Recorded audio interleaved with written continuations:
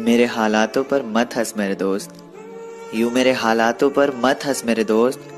जितनी बार तूने कोशिश भी नहीं की होगी, उससे कई ज़्यादा बार मैं हार कर खड़ा हो चुका हूँ।